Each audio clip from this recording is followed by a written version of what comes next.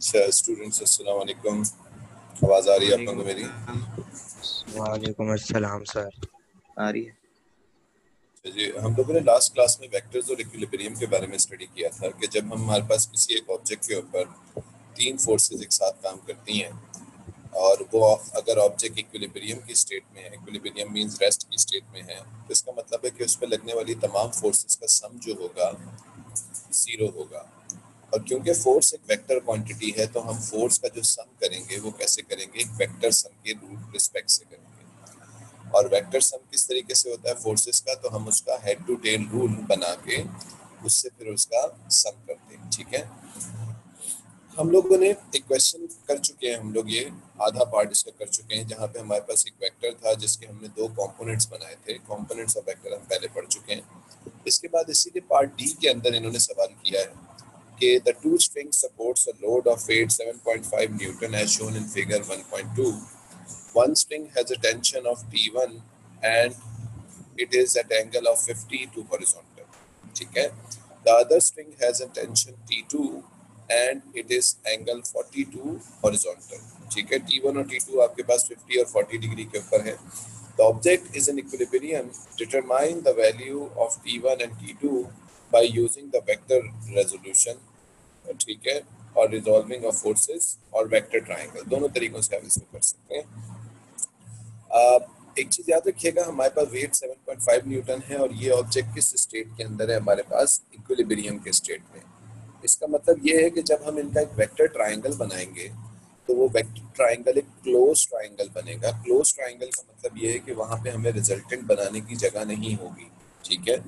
क्योंकि इसका रिजल्टेंट होगा ही नहीं, इसका रिजल्टेंट ज़ीरो होगा। और सेकंड जो इम्पोर्टेंट चीज़ है वो ये है कि वो ट्राइंगल एक पैटर्न फॉलो करेगा। पैटर्न का मतलब है कि वो क्लॉकवाइज सारे वेक्टर चल रहे होंगे या फिर एंटी क्लॉकवाइज डायरेक्शन में चल रहे ठीक है? तो I think we have made it very clear in the last class so start solving this question इस क्वेश्चन को सॉल्व करना आप लोग शुरू कीजिए। इसका वेक्टर ट्राइंगल बनाइए और उसके बाद इसके रिजल्टेंट की वैल्यू T1 और T2 दोनों निकालने हैं। प्लीज़ स्टार्ट दैट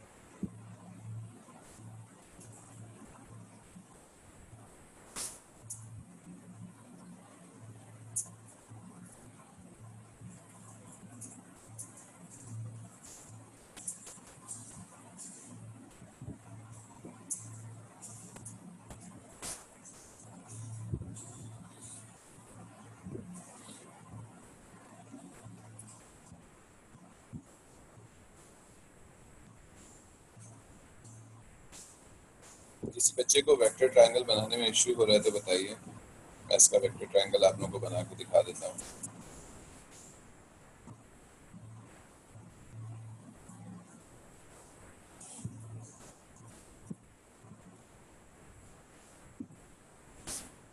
जी, किसी स्टूडेंट को इश्यू हो रहा है इसका ट्रायंगल बनाने में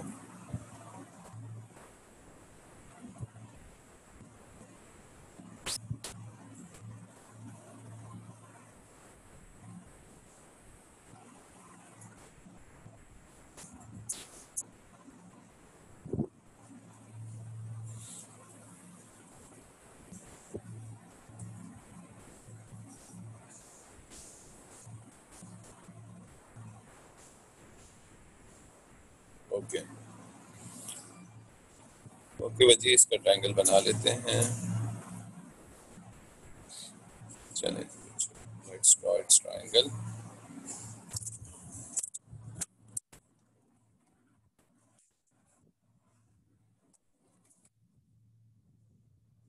ट्रायंगल बनाते हैं इसका। हमारे पास तीन वेक्टर हैं T1, T2 और W वेट 7.5 न्यूटन T1 जो है वो आपके पास लेफ़्ट हैंड साइड और अप लेफ़्ट की तरफ़ है 50 डिग्री के ठीक है? तो लेट्स ड्रॉ T1 फ़र्स्ट हमने लेट्स से T1 पहले बना लिया। तो T1 हमारे पास जो है, वो इस साइड पे है T1 ठीक है? कितने डिग्री के ऊपर? 50 डिग्री के ऊपर, ठीक है? इसी के बाद हमने यहाँ से टी टू बनाया। तो टी टू हमारा यहाँ से यूँ है 40 डिग्री के ऊपर।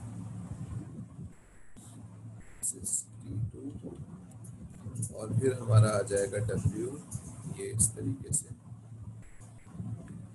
और ये ट्राइंगल जो है, ये क्लोज हो जाएगा। This is W is equals to 7.5 newton ठीक है? ये ट्राइंगल हमारा यहाँ पे क्लोज हो गया। अब हम इसके एंगल्स देख सकते हैं। If this is 50 and this is whole is 90 then is this internal angle will be 40 40 अच्छा ये अगर 50 है तो ये एंगल भी 50 हो जाएगा, which means this complete angle is 90 okay and this is z so this is also 40 degrees so this internal angle should be 50 degrees ठीक है तो 40 plus 40 plus 90 is 130 and 130 plus 50 is 180 इसका मतलब है एंगल हमारे सारे निकल गए सही ये रेड से जो मैंने एंगल लिखे हैं ये हम एंगल्स का इस्तेमाल करेंगे सारे के सारे ठीक है 50 90 और 40 का, ठीक है? W के सामने वाला एंगल क्या है? 7 अपॉन साइन 90 और साइन 90 वैसे भी 1 के बराबर होता है। और अब T1 T1 अगर हमें निकालना है तो T1 अपॉन साइन 50 ठीक है? इसी तरीके से 7.5 sine 90 is equals to T two upon sine 40 ठीक है जी। तो ये आप एंगल्स लेके इसको सॉल्व करके आंसर बताइए क्या आ रहा है। What is your T one and what is your T two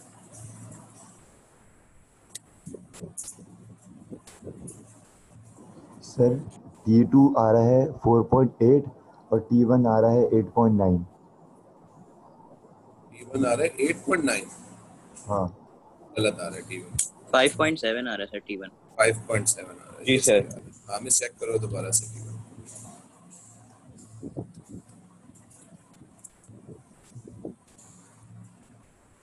five point eight आ रहे हैं ना? 5.7 समथिंग कुछ होगा significant figure seven four seven four है। सेवन फोर है तो सेवन फोर तो सेवन ही रहेगा ना। सेवन सिक्स होता तो फिर एट होता ना। सेवन फोर फाइव है। हाँ तो फोर फाइव को भी आप वही रखें ना। सेवन पॉइंट फोर सेवन ही रखें।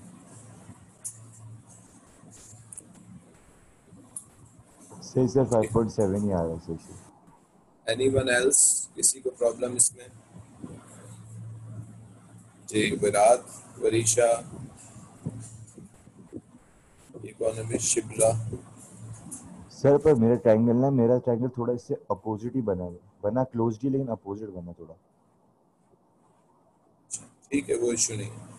ट्राइंगल तो आप जिस भी तरीके से बना लें वो इशू नहीं है बस।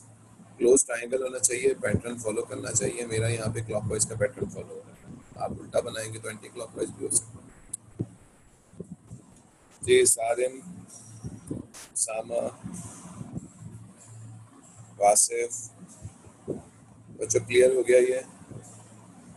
जी सर क्लियर है। आयशा ईमान हाजरा चांदनी फहमीना जी सर क्लियर है। अजान किसी बच्चे को कोई क्वेश्चन है तो पूछ लीजिए नहीं सर क्लियर है। अच्छा। ये क्वेश्चन क्लियर हो गया। नेक्स्ट क्वेश्चन अब आप लोग बिल्कुल टोटली इंडिपेंडेंट कीजिएगा ठीक है? अब मैं इसमें आप लोगों की हेल्प नहीं करूँगा बिल्कुल भी।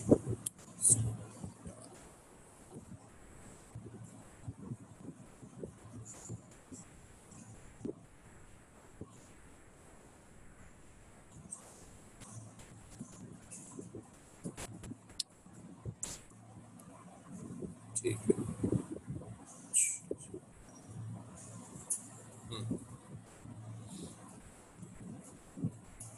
explain the difference between the quantities distance and displacement क्या होता है वैसे distance और displacement के दरमियान में difference सर डिस्टेंस के पास डायरेक्शन नहीं होता distance is having no direction while displacement is having a direction ठीक है fine ये भी ठीक है state Newton's first law sir अब मोशन एन ऑब्जेक्ट क्या था An object will continue in motion until a resultant force acts on it. until an Object- external. हाँ, an object will maintain its state of motion or rest until an external force act on it. एक object अपनी state motion की या rest की जिस state में भी होता है वो वो उसको कंटिन्यू करता है जब तक उसके ऊपर कोई एक्सटर्नल फोर्स काम ना करे ठीक है जी नहीं मैंने अभी परीक्षा फोर्स नहीं पढ़ाया लेकिन आप लोगों ने ओ लेवल्स में फोर्सेस के बारे में थोड़ा बहुत तो पढ़ा है ना। ठीक है? कोई यहाँ ऐसा बच्चा तो नहीं है ना जो कॉमर्स से आया है एंड ओ लेवल से? है भाई?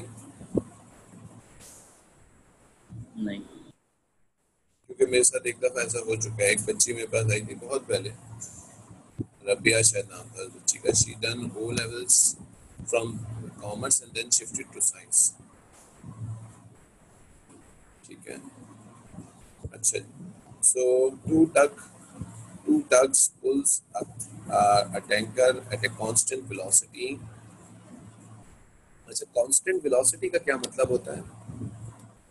कि एक्सेलरेशन कितनी है? ज़ीरो ज़ीरो अब एक्सेलरेशन ज़ीरो है तो इसका मतलब है फोर्स रिजल्टेंट फोर्स भी कितना हो जाएगा?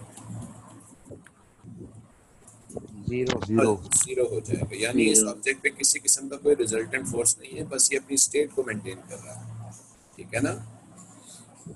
एनी क्वेश्चंस इन दैट नहीं। ऑब्जेक्ट कांस्टेंट एक्सेलरेशन वेलोसिटी से चल रहा है एक्सेलरेशन ज़ीरो है इसका मतलब है उसके ऊपर लगने वाला फोर्स भी ज़ीरो है। ठीक है जी? अच्छा जी। A two uh, two tugs pulls a tanker at a constant velocity in direction xy यानी ये दोनों tugs इस बो इसको टैंकर को सामने की तरफ़ खींच रही है कांस्टेंट वेलोसिटी से ये xy डायरेक्शन में uh, tug one pulls the tanker with the force t1 with uh, 25 uh, degrees to xy. Tug 2 pulls the tanker with the force of T2 15 degree to xy.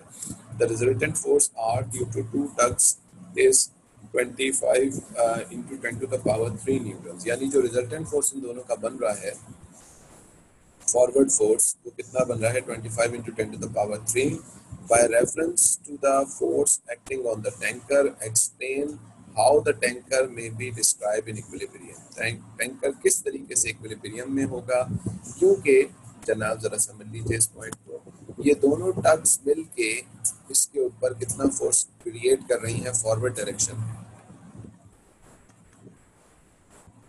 कितना force create कर रही हैं forward direction में?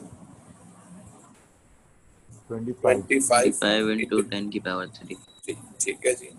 यकीनन यहाँ पे water की या कोई रेजिस्टिव फोर्स होगी जो कि बैकवर्ड होगी और वो भी कितनी होगी? 25 five into ten to the power three okay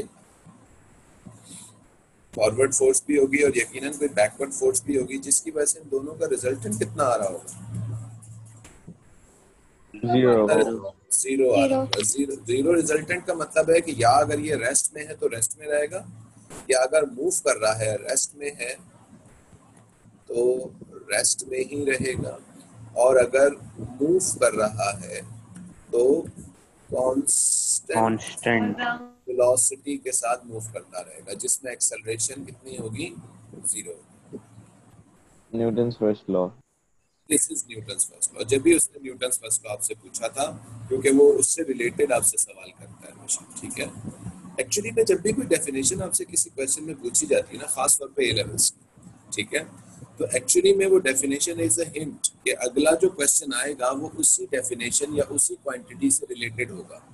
उसी चीज़ को यूज़ करके आपने उसको समझाना, ठीक है?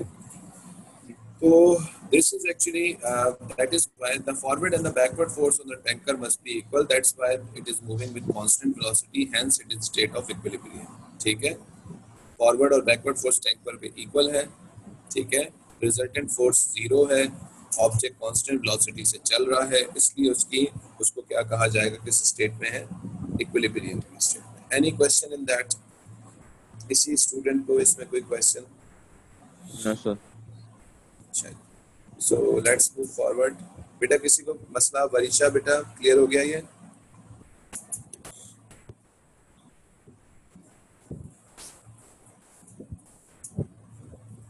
वरिशा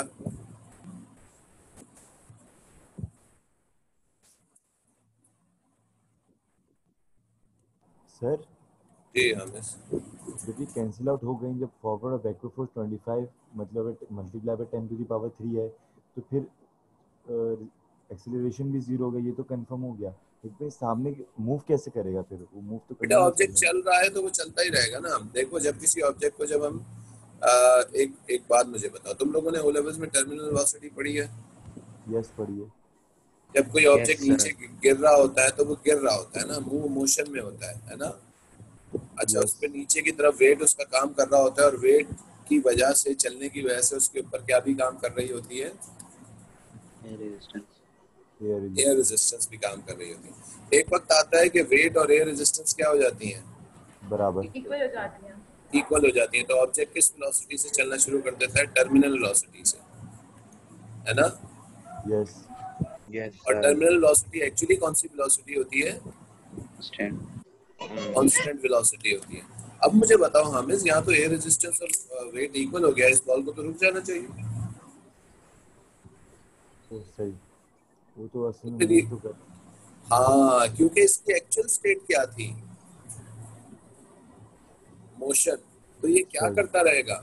अपनी स्टेट को कंटिन्यू कर देगा। हाँ मोशन ही करता रहेगा। लेकिन बस जी। सर एक बार वापस समझा देंगे मेरा इंटरनेट अभी अभी आया है चला गया था। अच्छा। देखो, हम जब किसी ऑब्जेक्ट को एक एयर में ड्रॉप करते हैं तो वो वेट की वजह से नीचे की तरफ़ जाता है।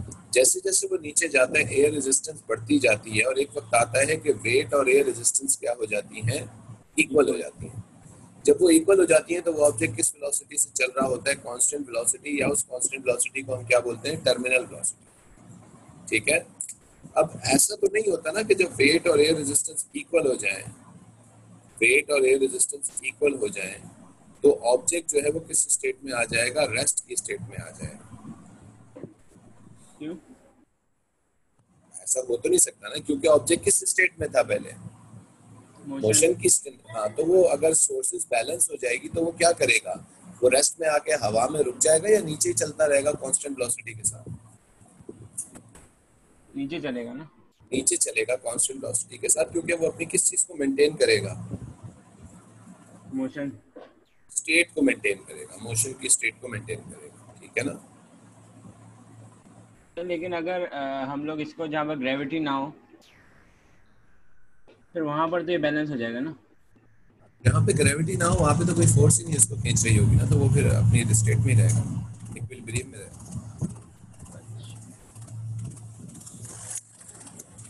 हम्म, अच्छा जी यहाँ तक क्लियर हो गया सबको? Sir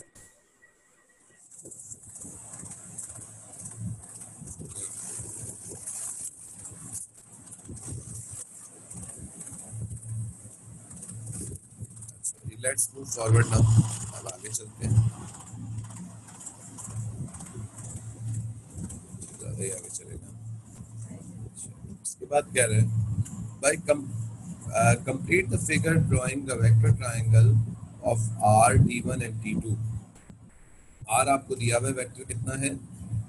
Twenty five into ten to the power three newton T one and T two determine using your vector triangle to determine the magnitude of t1 and t2 तो आप लोगों ने फिर से वही चीज़ करनी है कि t1 और t2 को क्या करना है? डिटरमाइन करना है। ठीक है जी? तो ये रहा आपके पास क्वेश्चन ठीक है? अब यहाँ पे देखिएगा टी वन ठीक है अप राइट की तरफ़ है और टी टू जो है वो डाउन राइट की तरफ़ है।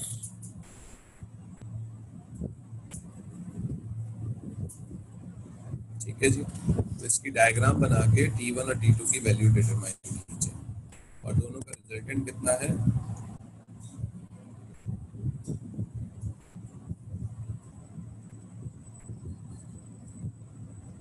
जी कर लेंगे ये आप लोग। ये हो जाएगा। से होगा ना? यस सर यस सर हो जाएगा क्लोज ट्रायंगल तो नहीं होगा ना क्लोज ट्रायंगल ही होगा ना। क्लोज ट्रायंगल ही बनेगा। क्लोज ट्रायंगल ही बनेगा ना क्योंकि उसने ऊपर बोल दिया था जितना रिजल्टेंट फोर्स फॉरवर्ड बन रहा है उतना ही रेजिस्टिव फोर्स बैकवर्ड होगा ना। तो क्लोज ट्रायंगल बनेगा।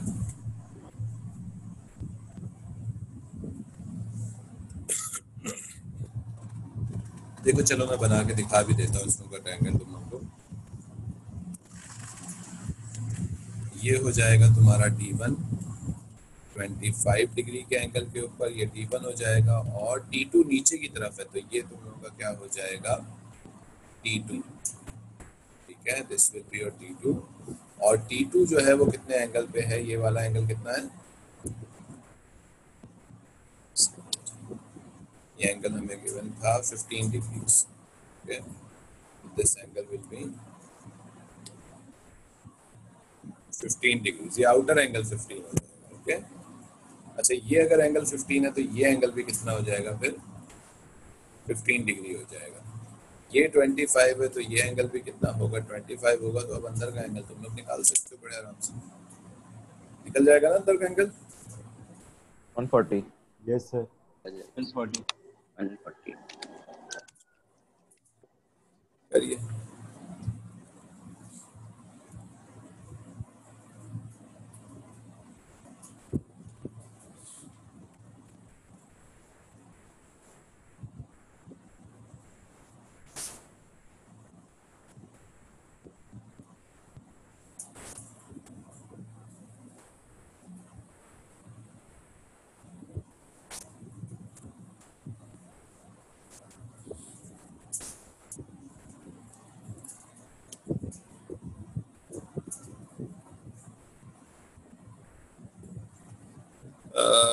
डायग्राम के अगर आप गलत बनाएँगे तो मैं खाली एक नंबर डायग्राम का कटेगा, बाकी आपको पूरे मार्क्स मिल जाएँगे।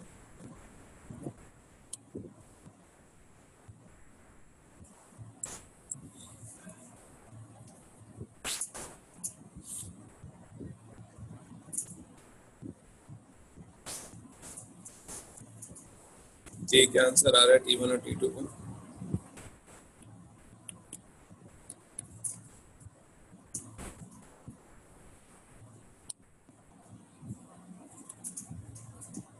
T one one zero six आ रहा है। वन ज़ीरो सिक्स नहीं यार बहुत कम आ रहा है। बड़ा ज़्यादा सर है। 166.27 hundred sixty six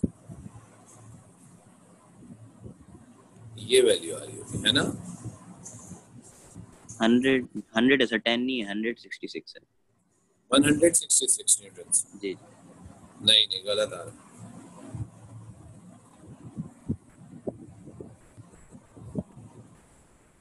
five eight three three nine six.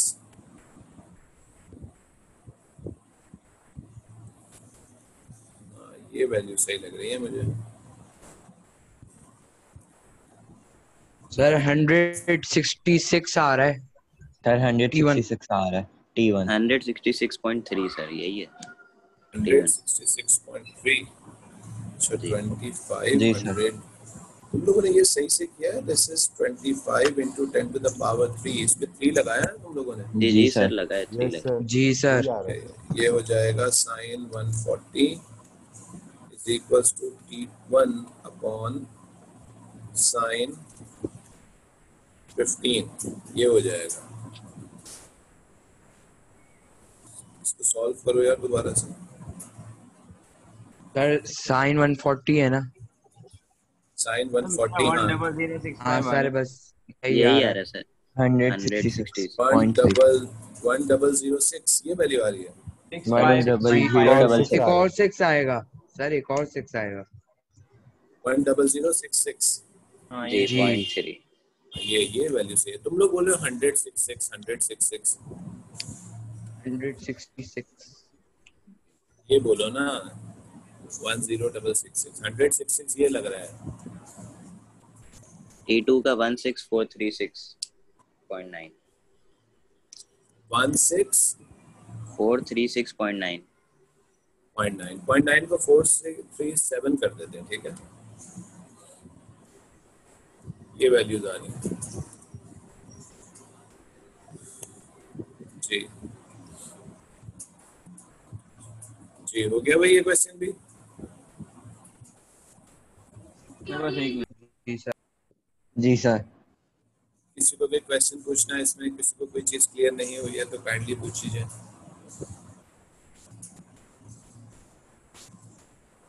Sir? Sir ये हम यूजुअली थ्री सिग्निफिकेंट फिगर्स में लिखते हैं ना आंसर सारे। ज़रूरी नहीं है डिपेंड करता है कि हमारा डेटा कितने सिग्निफिकेंट फिगर्स में गिवन है। यहाँ पे थ्री सिग्निफिकेंट फिगर्स हैं हम इस तो हम थ्री सिग्निफिकेंट फिगर्स में आंसर देंगे अच्छा जी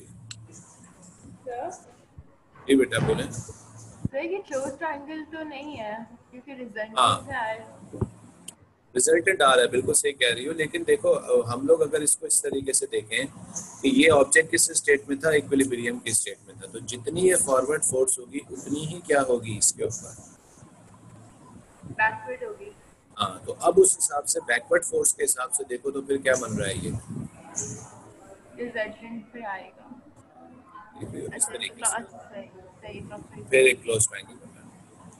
ठीक है।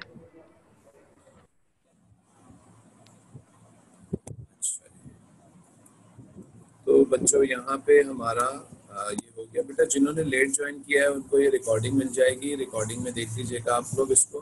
ठीक है? और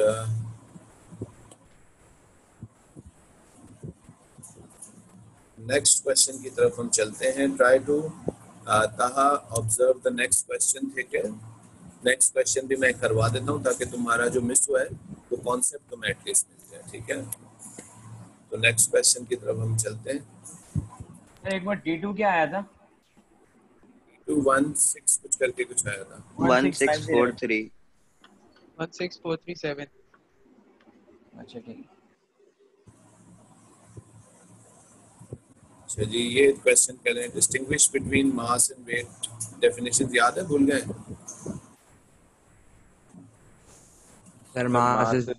of in the body. amount of Whereas matter. mass Amount by of unit gravity. mass is the amount of matter inside the body a measure of inertia of any object किसी object का inertia भी mass ही होता है weight is the force due to which earth attracts any object towards its center ठीक है अच्छा उसके बाद कह रहे हैं object O of mass 4.9 kilogram is suspended by a rope that is fixed at one point. The object is pulled to one side and held in equilibrium by the second rope.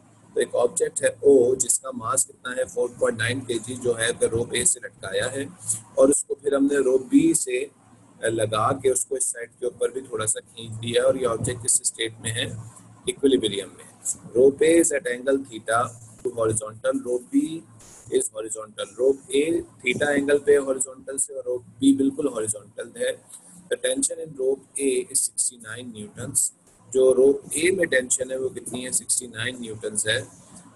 Rope B tension T है। On figure, draw an arrow to do represent the direction of forces acting on O. O के ऊपर forces किस direction में काम कर रही होंगी? तो दैट्स वेरी सिंपल सबसे पहले तो नीचे की तरफ़ इसका क्या काम कर रहा होगा भाई? हेड टू टेल रूल होगा। वेट होगा ठीक है? फिर ये वाली रोप भी इसको टूवर्ड्स किस साइड पे खींच रही है? राइट साइड पे खींच रही है तो इसमें जो टेंशन होगी लेट से वो होगी टी बी ठीक है? और वो टेंशन टीबी इस साइड के ऊपर होगी। इसी तरीके से ये वाला रोप इसको ऊपर की तरफ़ खींच रहा है तो इसको हम कह देते हैं टी ए ये आपके पास टेंशन फोर्स होगा। टी ए रोप ए के अंदर। और बाय द वे रोप ए का टेंशन भी उसने बताया हुआ है हमें कि ये टेंशन फोर्स कितना है। सिक्सटी नाइन ठीक है?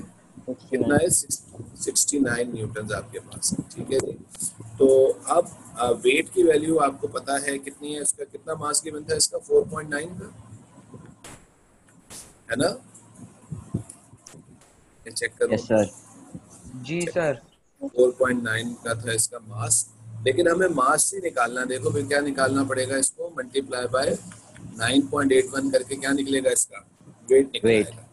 अच्छा. बच्चों हम लोग के ए लेवल्स के अंदर हम लोग कभी भी ग्रेविटी को 10 नहीं लेंगे। हम क्या लेंगे उसको 9.81 okay acceleration due to gravity को 9.81 और वेट का फॉर्मूला होता है एम जी तो हमने सिंपली इस मास को इस ग्रेविटी की वैल्यू से मल्टीप्लाई करके इसका वेट निकाल लेना है। ठीक है वैसे कितना आ रहा है ये वेट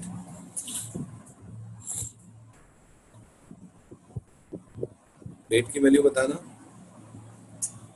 48 आ रहा है सर 48 48.069 48 48.1 या 48 न्यूटन हम कंसीडर कर सकते हैं इसको। अच्छा जी अब तुम लोग को ये एंगल भी नहीं गिवन और टीवी भी नहीं गिवन ओके सही है भाई? जी जी। जी सर। नेक्स्ट नेक्स्ट पार्ट में वो क्या पूछ रहा है हमसे मांग क्या रहा है?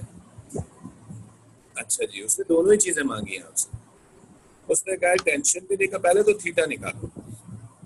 पहले उसने क्या बोला है एंगल निकालो और उसके बाद उसने क्या बोला है क्या निकालो?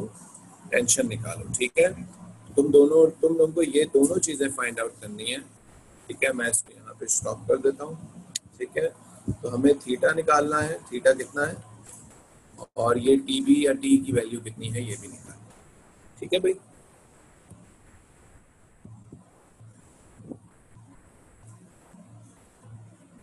हो जाएगा ये? ख्याल रखना ये 90 डिग्री है। सवाल बहुत सिंपल हो गया। ये 90 डिग्री का अगर एंगल हो गया question is very simple hint ये है कि ट्राइंगल इसका यूँ बनेगा कुछ।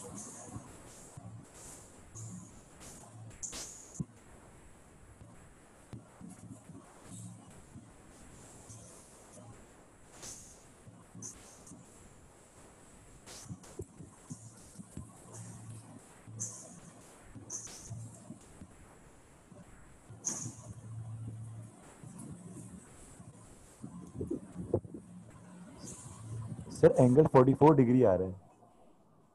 एंगल 44 डिग्री आ रहा है। आप बेसिकली टेंजेंट वाला रेशियो लगा के डायरेक्ट निकाल सकते हैं इसको। ठीक है या जी सर यही वही। साइन लग रहा है साइन। साइन लगा सकते हैं ठीक है ना? हाँ साइन वाला रेशियो लगेगा. ठीक है?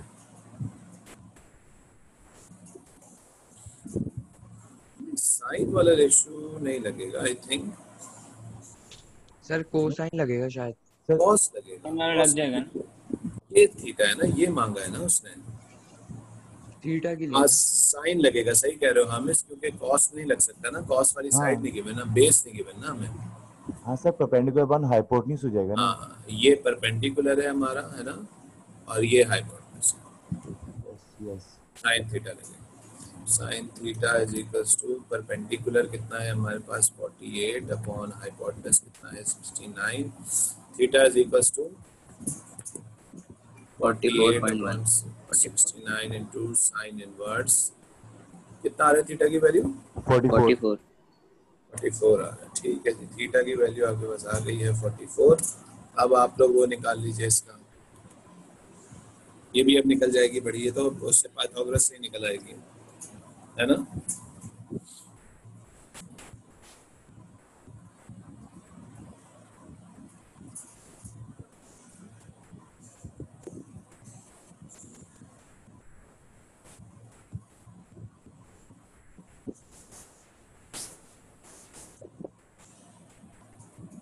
जी हो गया बच्चों।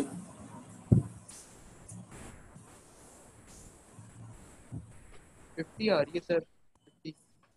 टेंशन की वैल्यू कितनी आ रही है? 50 49.5 आ रही है इसको राउंड ऑफ़ करें तो 50 आ रही है। सही है यस सर 49.5 49.5 ठीक है बिल्कुल।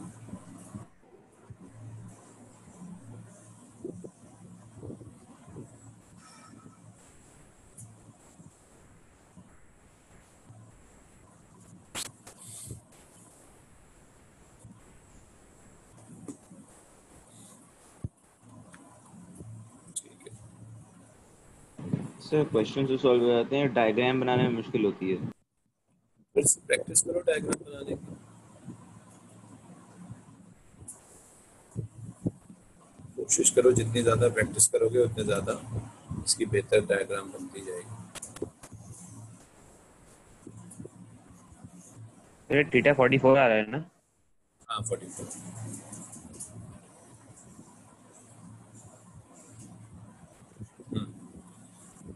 जी तो ये क्वेश्चन भी हो गया हमारे पास।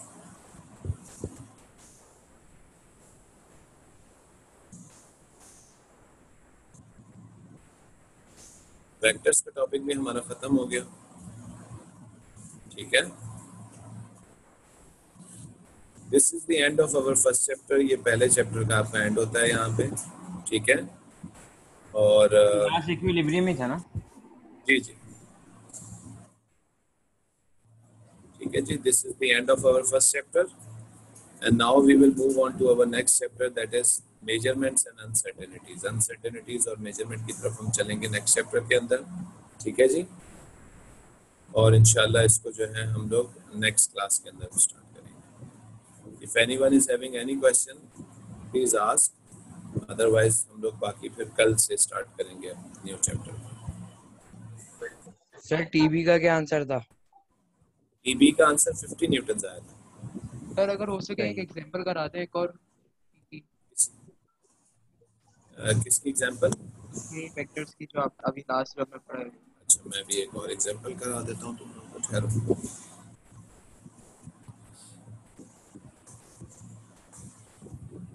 तो देखता हूँ रिसेंट ईयर में कोई क्वेश्चन अगर आया तो वो करवाता हूँ ठहरो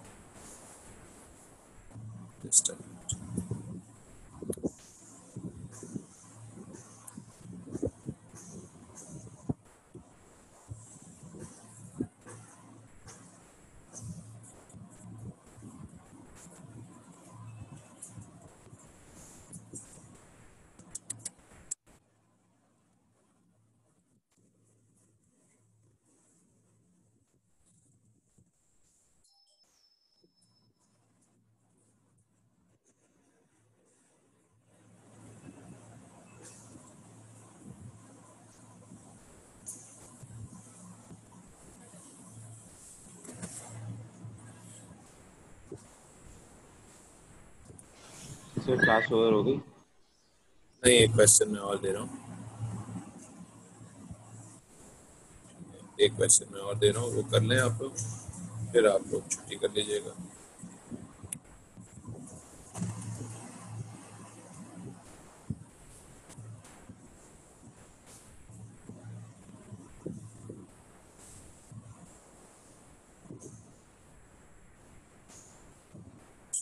चलें जी ये क्वेश्चन ज़रा स्टार्ट करें आप लोग। इसको पढ़ें, इसके दोनों के आंसर दीजिए, क्या है?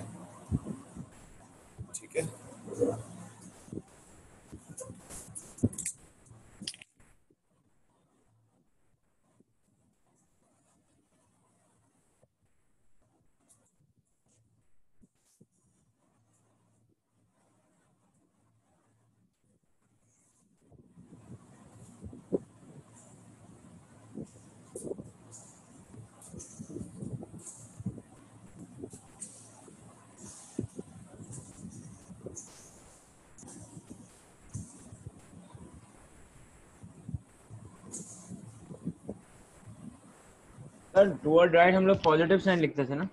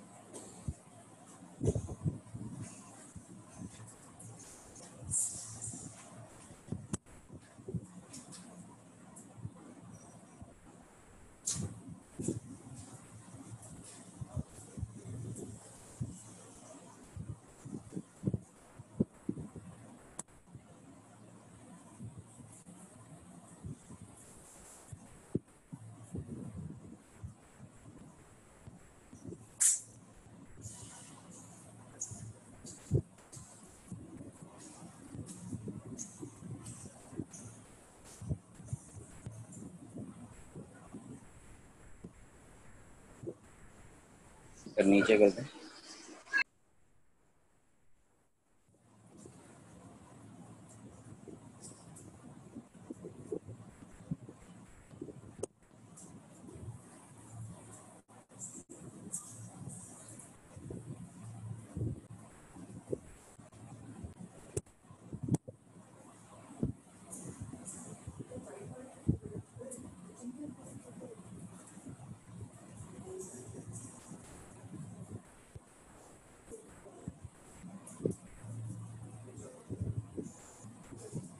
Sir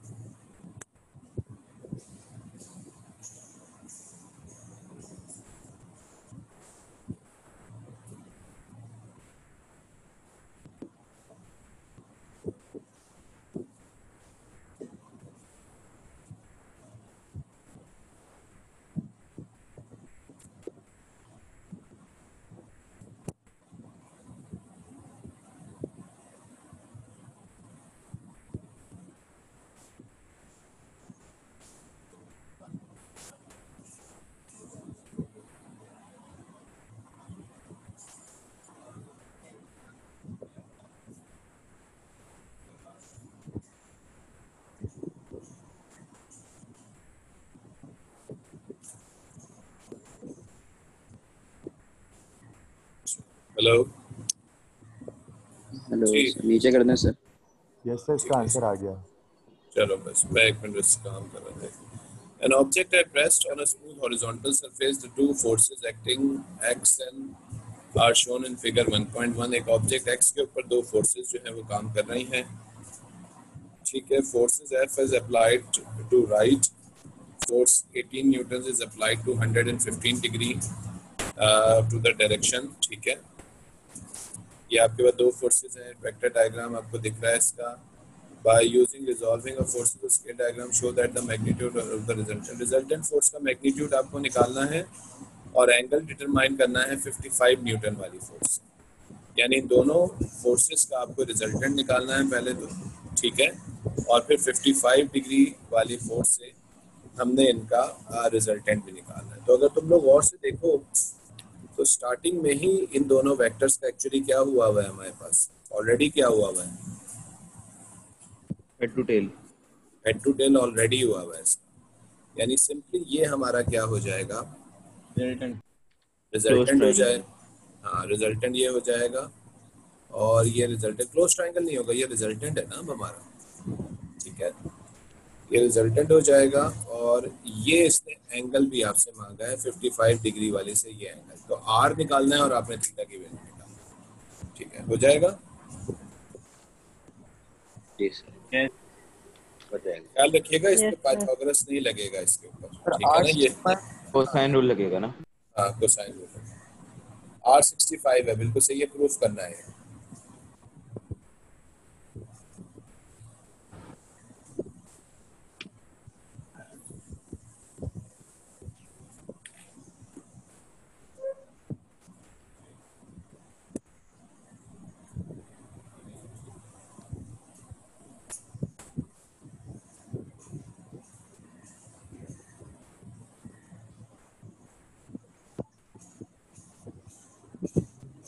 Oh.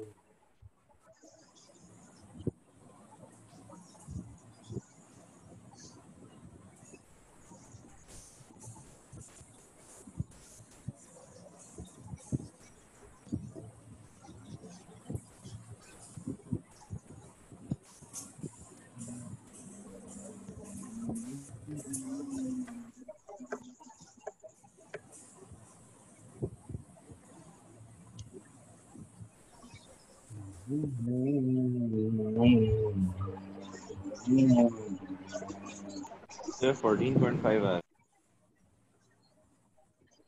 तो गिराना नहीं बस